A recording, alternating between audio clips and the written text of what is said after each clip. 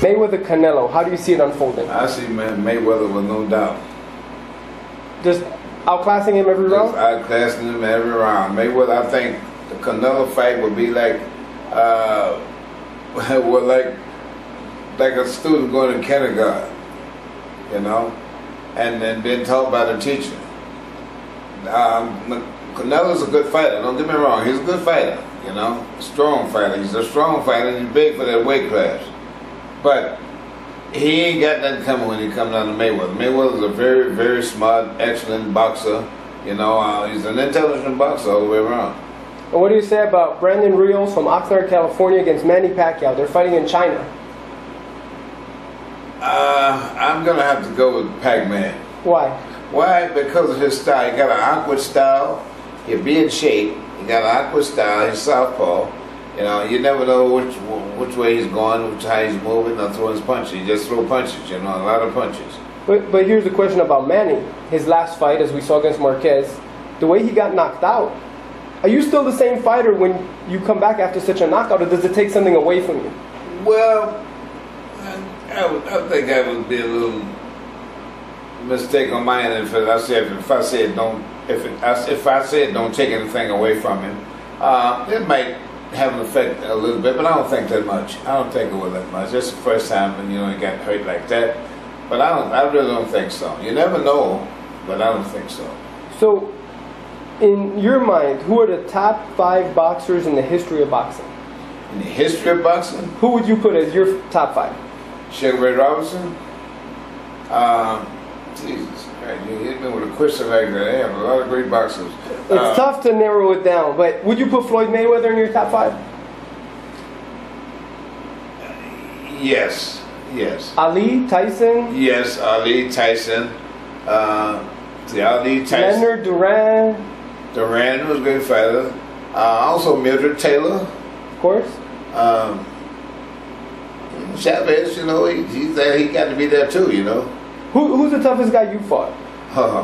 Man, it seemed like everybody I fought was tough. I fought Ernie Shavers, Ron Lyle, Oscar Bonavena, Big Cat, Cleveland Williams, Joe Bugner, um, Jerry Cosia, Big John Down. Man, you, you asked me a hell of a question. What, what was it like to be a fighter when boxing was the number one sport in America?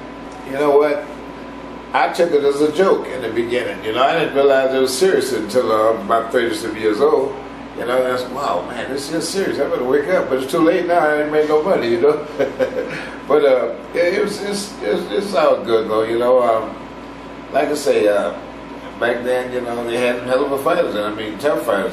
But the toughest one I ever fought, I answer your question. The toughest one I ever fought was a light heavyweight called Lonnie Bennett. You remember him?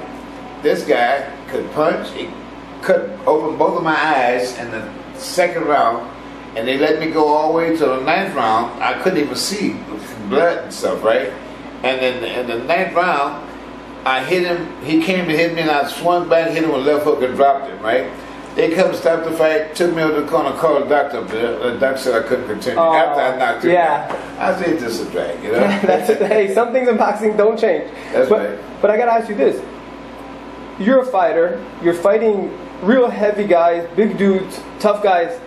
Yet when I talk to you now, you seem like you wouldn't even tell you were a fighter. And sometimes when I talk to fighters, unfortunately, the damage, the accumulation, how do you explain? What was your secret that now you're doing so good? My secret was not getting hit. How did you do it? You know, I, I was more, you know, I was more of a defensive fighter than offensive, and, and that was because I never was really taught what I learned. I learned it from getting in the ring with all these different people. I never really had a trainer that I could say was my trainer trainer. I never had one.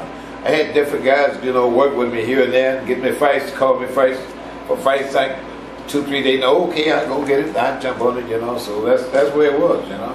What advice would you have for young fighters who are watching this video from your experience in boxing? The advice I would have for young fighters is listen. You got to listen to your coach. You understand, and and don't think you all that, you know, after you learn how to jab, don't think you're the best in the world, you know, because you're not. But I would say listen to your coach, train, and, and, and make sure you do the right thing, follow the, rules that it should be. Let's uh, that outside life don't do nothing stupid out there, you know, the drugs, the alcohol, and slow down with the women and stuff like that. You got to have control of that. Did you happen to see Anderson Silva's fight this weekend? No, man. I, well, you know, my son showed it to me and I missed Uh, what did you fight. think of that as a former pro fighter? That's what happens when you get cocky, you know. Sometimes you get a little cocky, you know, you think you this and that, you understand, and you do stupid stuff and you get caught. And that's what he did. He got caught, and he got caught good. And but it just was very foolish to lean forward, put your hand down, stick your chin out. No, it was more than foolish. That was stupid. That was crazy. Why would you do that? Why would you do that? I don't know. You know? And and coach, so right now you're here in Vegas. There are a lot of big events here. What the fans tell you when they meet you? uh, you know, how you doing? You know, this guy was a great fighter. You know, he fought everybody. You know, and uh, look at him. He say like he look like he ready to fight now. You know, which I'm not. You know, but that's what that's what they greet me. You know, how you doing? It's good to see you. And haven't seen you so long. You still go to the fight.